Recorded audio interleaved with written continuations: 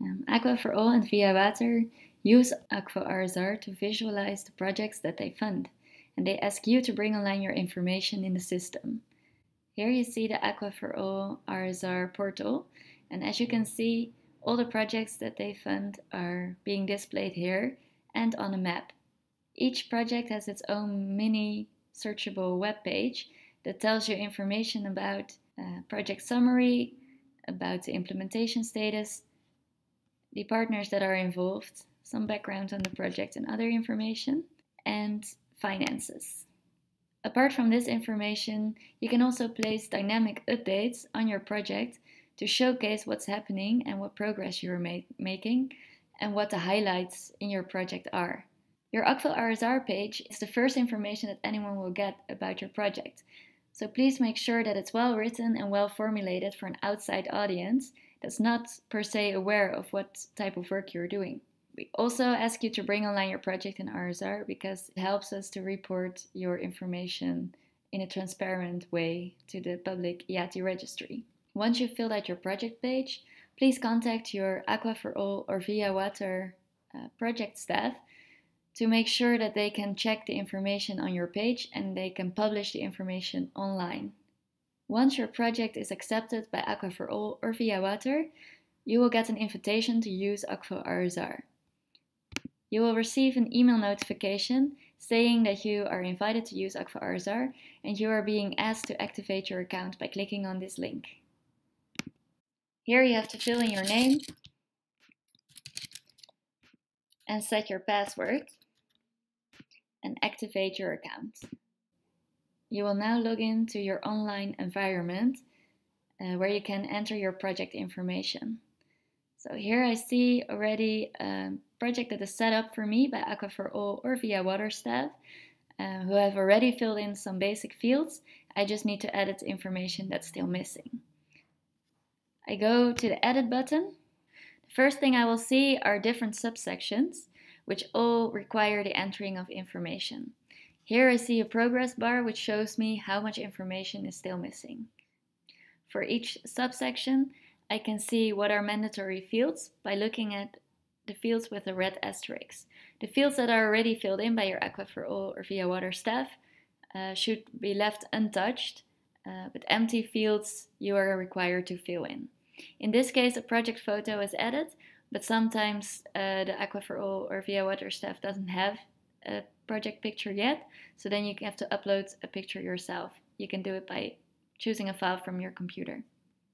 In the Project Partners tab, the Aqua for All or Via Water staff has filled in all the partners that they know are working on your project. Sometimes, however, um, there are implementing partners that are not in this list yet. So if you see any implementing partners missing, please add an organization by clicking on the Add Another Organization button and then search for a partner in the drop-down menu by typing in the name. If the partner is already in our database, you will find it in a drop-down menu. But if the partner is missing, you can add a new organization by clicking on Add New Organization. You have to fill in the name, the long name, organization type, and the latitude and the longitude, so we know where to locate the organization on the map. If you don't know the latitude and the longitude, you can click on this link and there you can enter the location of the organization and it will automatically generate the latitude and the longitude for you. Once you're done, you can click on Save. Now, if you want to enter uh, this organization into your partners, you have to first refresh the page and then the partner will appear in the drop-down menu when you type in the name. Please, in the meantime, always remember to press on Save uh, before you navigate away from the page, otherwise you will lose your changes. In the project description, uh, you see different fields that you have to fill in. Um, there are fields with a red star, but for Aqua for Via Water, you have to fill in all the different project information sections in the section Project Descriptions. Sometimes you might need a little bit extra explanation of what is expected from you to be filled in here. Then you can click on an information button and it will tell you uh, a bit about what is expected in this field. If you want extra information on how to fill in these fields, there's also an Akvo RSR guideline available, which will be sent to you by the Aqua for All or Via Water staff. The same goes for the results and indicators section. If you need any help filling this in, there's an elaborate explanation in the RSR manual. Once all the project bars are green, you are ready to publish the project. Please ask your Aqua for All or Via Water contact person to check your information and then once they are confident with the result, they will publish your project and let you know that it's now online. If you want a preview of how you how your project will look like, you can always choose the view project page and it will give you a draft preview of how the project will look like when it is um, published and how outsiders will see your information displayed on the project. Once your project is published, you can start updating your project with uh, the highlights or the lessons learned from your project.